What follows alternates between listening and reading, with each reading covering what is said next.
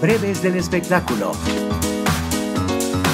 Joaquín Bondoni enamora a sus fans en Guadalajara. Hola, les comento que Joaquín Bondoni acudió a su firma de autógrafos en Guadalajara como parte de su Purple Tour en el cual ha visitado varios estados de la República Mexicana con gran éxito. La visita de Joaquín Bondoni a Guadalajara era muy esperada por los fans del estado de Jalisco, quienes finalmente este sábado por la tarde tuvieron la dicha de conocerlo y convivir con él. El joven artista fue recibido por cientos de sus seguidores, quienes ya estaban más que listos para darle la bienvenida desde temprano. Se colocaron en fila exhibiendo sus calendarios morados y los regalos para el solecito. El encuentro fue sumamente agradable y aplaudido por los fans ya que fue muy bien organizado, aunque muchos se quedaron con las ganas de acudir. La firma de autógrafos estuvo limitada para 500 personas con el fin de que Joaquín Bondoni pudiera atender a cada uno de sus fans y compartir con ellos momentos especiales y significativos. Definitivamente el equipo de Joaquín es increíble. Te dejan tu tiempo para que te firme, te abrace, mande saludos, darle sus regalitos y hasta tienes tiempo de hablar con él, afirman sus fans. La gira de Joaquín Bondoni en Guadalajara se posicionó en tendencia en redes sociales con el hashtag Purple Tour GDL. Arroba Joaquín Bondoni vuelve a romperla con su hashtag Purple Tour GDL y qué suerte los que estén en estos momentos en la firma del calendario de Joaquín en Guadalajara. Disfruten mucho y denle todo el amor y cariño del mundo a Joaquín que se lo merece, escribieron sus fans. El protagonista de la obra de teatro Distorsión, El juego de la mente, suele adoptar un estilo cómodo y relajado cuando viaja a sus firmas de autógrafos y meet and greets. En esta ocasión, lució una playera blanca con estampado de letras, pantalones de mezclilla y zapatos negros. El artista es aficionado a la moda y le dio un toque de originalidad y estilo a su look